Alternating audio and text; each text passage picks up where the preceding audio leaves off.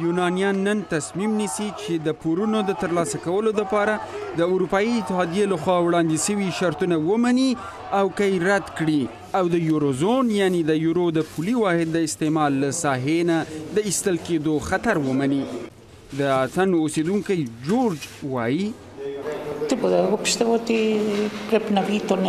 زه فکر کوم شرطونه باید ومنل شي د حل بله لاره نشته حالات په ډیره ناڅاپه توګه بدلیدونکي دي یعنی هر څه پیښیدلی شي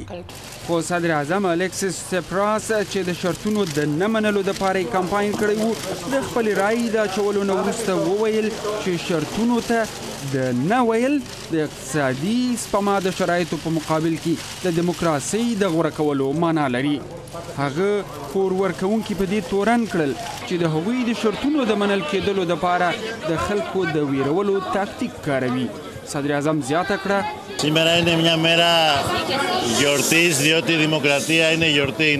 نن د خوشحالۍ ورځ ده ځکه چې دیموکراسي په خپله خوشحالي ده دیموکراسي بریا ده دیموکراسي د ویرې او ګواښ څخه د نجات لاره ده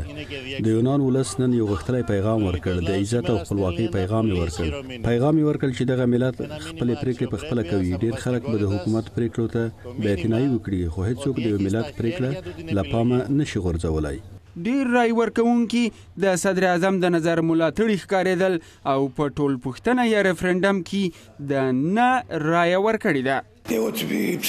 ما د صدراعظم سپراس خبره منلې ده او د نه رایه مې وکاروله. زه په اروپا کې اوسېدلی یم او د اروپایانو او د یونانیانو په حقونو پوهېږم. یو برابر حقوق نه لري موږ غواړو چې په اورپا کې واوسیږو خو د اورپا امتیازات نه غواړو. د یونان د مالیې وزیر یانیس وارافاکیس اروپایي اتحادیه تورنه کړه چې د خپلو شرایطو د منل کېدو لپاره خلک له بدو عواقبو ډاروي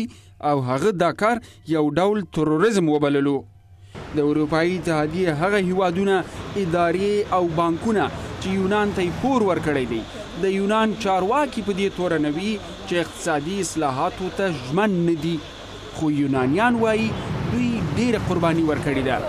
نور نشي کولی ځکه داسې احساس کوي لکه هغوی چې د پور ورکوونکو غلامان وي ایوب خاورین د آشنا تلویزیون واشنګټن